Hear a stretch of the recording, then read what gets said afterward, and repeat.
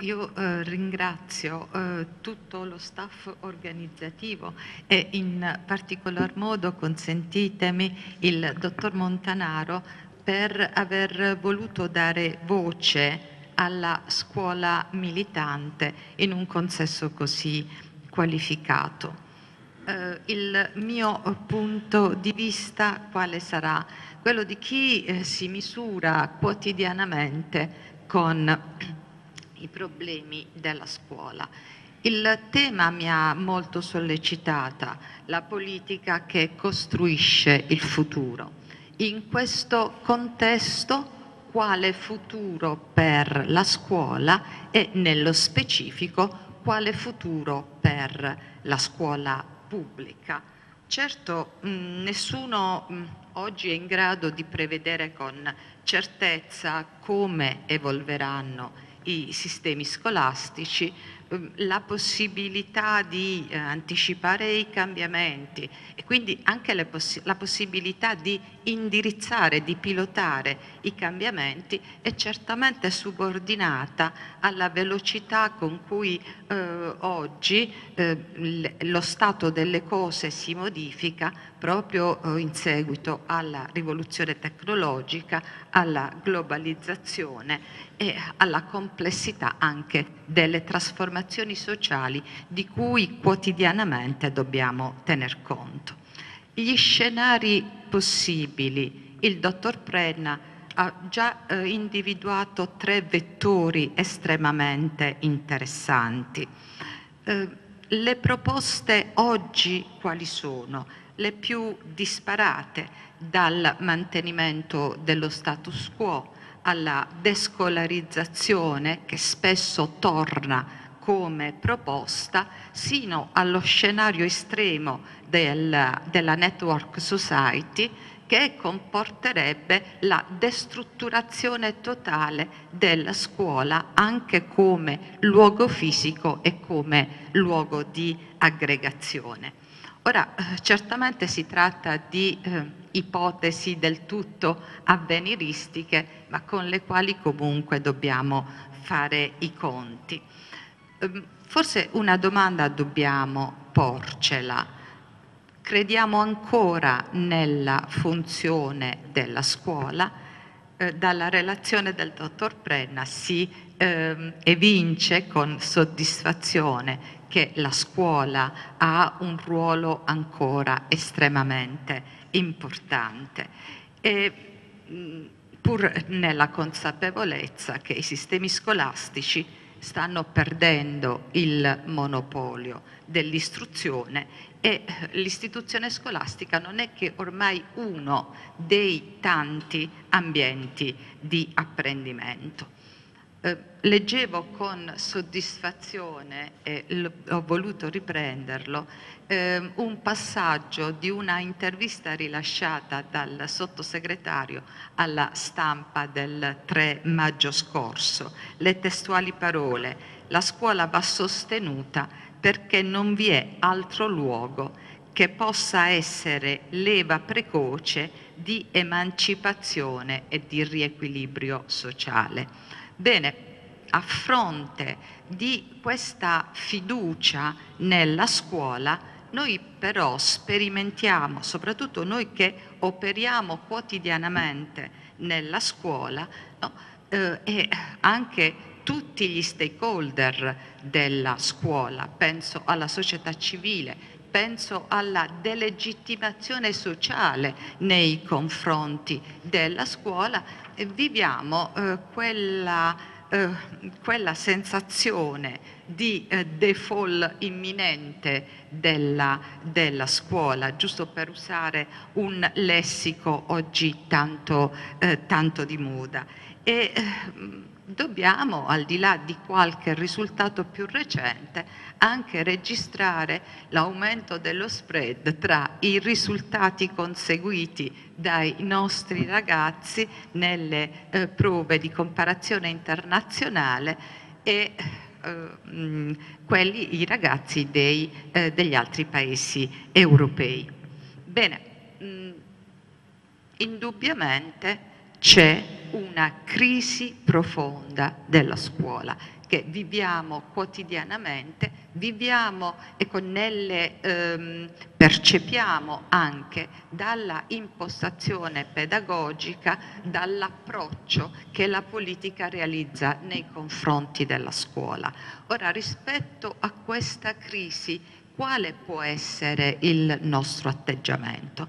Con l'ottimismo della volontà, bene, probabilmente possiamo pensare di tirarci fuori da questa crisi.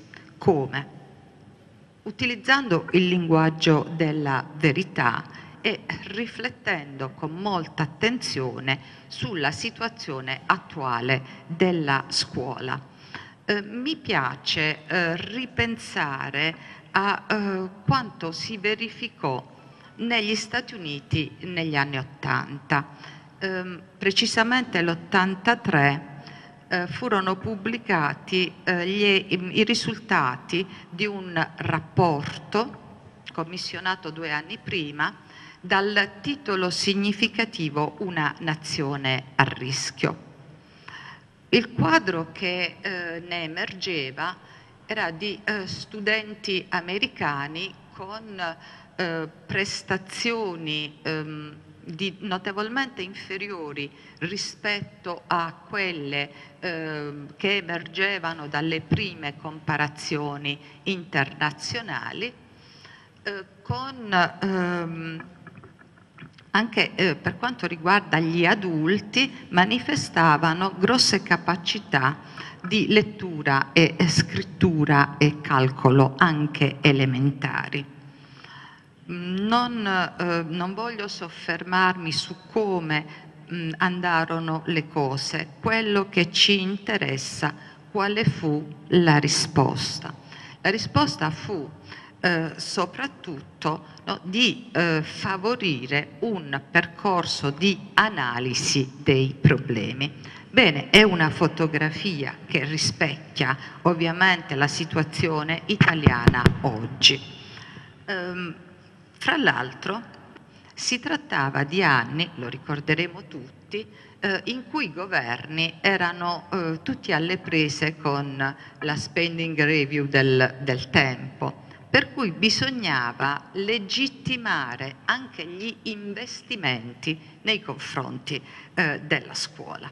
Da questa analisi attenta scaturirono tre indirizzi fondamentali l'adozione di metodi, la necessità dell'adozione di metodi empirici di ricerca scientifica in grado di fornire prove attendibili sulla validità delle sperimentazioni e delle innovazioni, la produzione di un insieme di indicatori internazionali su sistemi scolastici tali da garantire la comparabilità e l'amplificazione e l'accelerazione delle valutazioni internazionali su vasta scala del profitto scolastico. Eh, al centro per intervenire sul sistema scolastico quindi il discorso della valutazione. Dibattito molto vivace appunto negli anni Ottanta, dagli Stati Uniti eh, nacque un dibattito che si trasferì poi su scala planetaria e che ha portato alla, ehm, al valore attribuito appunto alle comparazioni internazionali. Bene, in questo quadro che riguarda appunto eh, tutto il mondo occidentale degli anni Ottanta, come si pone l'Italia? Quello che ci spiace registrare è che l'Italia eh, ha manifestato in questa direzione un fortissimo ritardo. Eh, a differenza della Germania, che con l'Italia all'epoca, negli anni 80 e negli anni 90, eh, ra mh, mm, rappresentava il fanalino di coda in merito al discorso sulla eh, valutazione, la Germania ha eh, fatto progressi eccezionali tali da collocarsi eh, a livello mondiale nelle prime posizioni. No? L'Italia invece stenta ancora a darsi un sistema nazionale di valutazione. Um, non voglio dilungarmi, um, qualche um, esempio che ci fa capire chiaramente come l'assenza di un serio sistema nazionale di valutazione rappresenti uno dei mali della scuola italiana. Um, oltretutto, la scuola dell'autonomia, dell'autonomia funzionale, senza una valutazione, senza la diffusione di una cultura dell'accountability, l'Italia, l'Italia è, l'Italia è estranea rispetto a questa cultura e non semplicemente eh, in ambito, in ambito scolastico, mi riferisco un po' a tutta la pubblica amministrazione. Ora, una scuola dell'autonomia che non acquisisce, non assimila questa cultura, ovviamente diviene una scuola autoreferenziale. Ancora un minuto, grazie. Sì eh, vado avanti. Um, altri, altri, brevissimi passaggi. Eh, penso alla introduzione delle nuove tecnologie, eh, grossissima occasione, ma rendiamoci conto che le nuove tecnologie non possono essere esclusivamente uno strumento aggiuntivo no? di, eh, di insegnamento-apprendimento. Non possono essere ricondotti ad, una, eh, ad un fatto solo strumentale, ma chiamano in causa i processi di apprendimento giusto così per un brevissimo riferimento, il passaggio da un apprendimento di tipo sequenziale ad uno necessariamente di tipo reticolare, chiamano in causa il, eh, gli stessi criteri di valutazione, ma tantissimi altri esempi. Il tempo scade. Cosa voglio dire? Al, no, la, il discorso, l'attenzione sulla valutazione non è certamente la panacea per tutti i mali della scuola. Non ci illudiamo.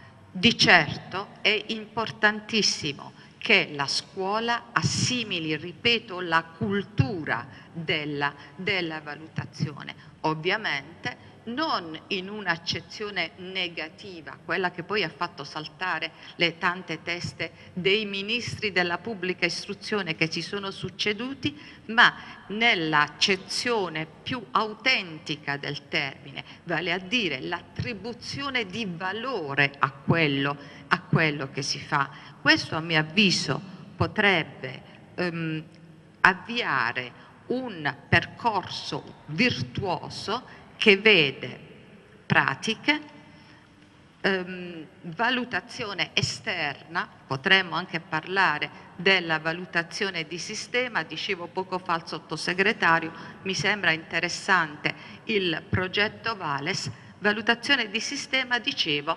investimento di nuove risorse. Dobbiamo e vorrei aggiungere chiudere. un altro aspetto, chiudo, eh, questo potrebbe restituire quella legittimazione sociale al, a tutto il personale della scuola, delegittimato socialmente, ma che deve ovviamente proporsi da professionista. La dimensione di una riconquistata professionalità di sicuro darà maggiore dignità e maggiore entusiasmo a tutti i docenti. Grazie, scusatemi se ho sforato.